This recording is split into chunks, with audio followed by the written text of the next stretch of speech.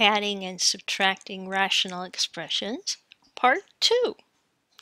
In this video, we'll add and subtract rational expressions after finding the least common denominator. We saw at the end of the last video that to find a common denominator for fractions or for rational expressions, one method is to factor the two denominators and then give to each denominator any factors that it doesn't have. So if we want to simplify this rational expression, I'm going to look at the two denominators first. x minus 3 can't be factored further. But 4x minus 12, I can factor out 4, and that gives me x minus 3. So x minus 3 in this case is in common already. But the second fraction has a 4 that the first fraction doesn't have. So let's look at that 4 and give it to the first fraction. And I have to write it as 4 over 4. Now we can fill in the two numerators and put them in parentheses. Whenever you have a polynomial as a numerator, it's in invisible parentheses. So there we go. Now the two denominators match, and the whole denominator is just 4 times x minus 3. On top I have to simplify, so I'm multiplying 4 with the distributive property. 4 times 3x is 12x, and 4 times 2 is 8. Now I didn't multiply the second fraction by anything, so I can just write plus 7x plus 1, and I'm all set there. All I have to do is simplify the numerator. So 12x and 7x are like terms, and that gives me 19x, and 8 and 1 are like terms, and that gives me 9. Now that can't be factored, so the bottom 4 times x minus 3, there's nothing I can cancel with the top.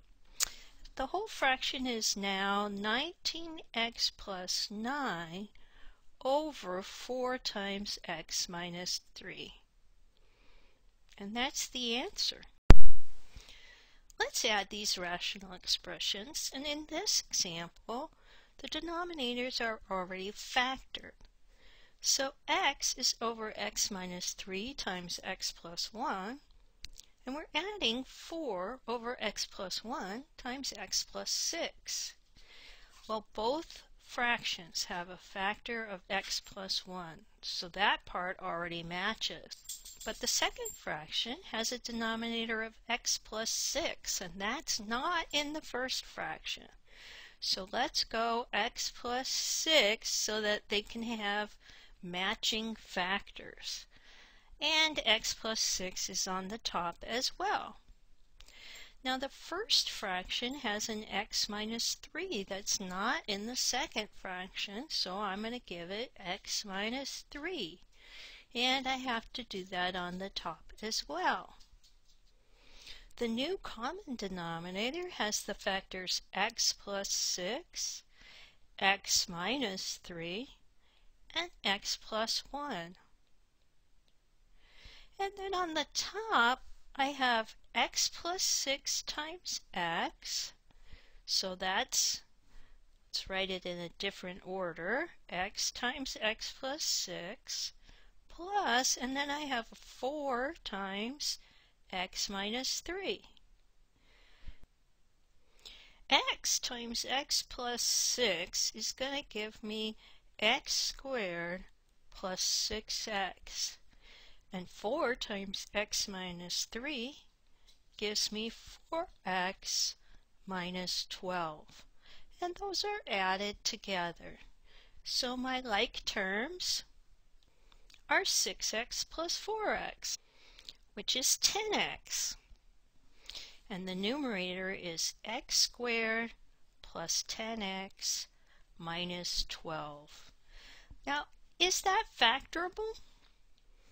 Well, the factors of negative 12 are 1 and 12, 2 and 6, and 3 and 4. Since it's negative, I need the difference between them. But I don't see anything that gives me a difference of 10. So the top is not factorable, and this is the answer to adding those two fractions. Well, finally, let's try one where we have to factor the denominators before we start. So x plus 1 is over x squared plus 4x minus 12, and we're adding that to 2 over x squared plus 3x minus 10.